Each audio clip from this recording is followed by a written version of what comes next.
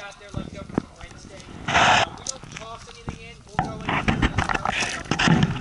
and they won't touch the food till we leave. You know, even though they want that meat, they're looking at it, but they won't go after it until we left.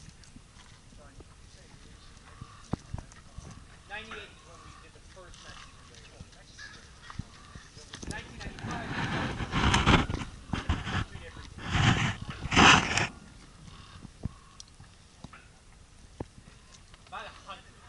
Are about a hundred. And again, they're they're mostly lambs, you know, because you get this image because Hollywood likes to make them look really big, uh, but they're actually very thin. If we were to shave them, you'd see they're they're nothing. You know, they're a little bullet on these tall legs. You can kind of see that on Wiki right now, the way his belly curves up. You know, he's a good, healthy size. That's an ideal looking wolf. That's what the camera's getting. Hold it for me, please. They're going to start losing their Hold it I can see it. Uh, we call them gray wolves though because their undercoat is gray, but their guard hairs can be any number of colors. You see a black variety of the gray wolf as well, but that's why we call them gray wolves, the undercoat.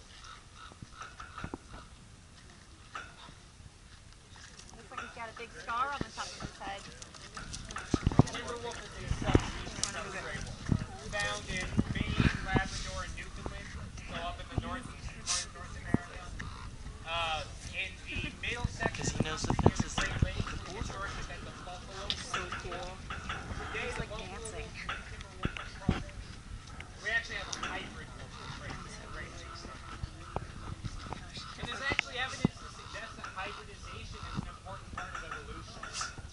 there's genetic testing now for people, and a lot of folks, I think pretty much everybody, if you were to go get genetic testing, you would find that you have a percentage of Neanderthal blood.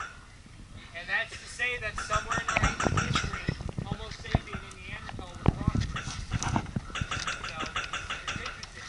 The idea is that, just like in any breed, the best traits rise to the top. So by hybridizing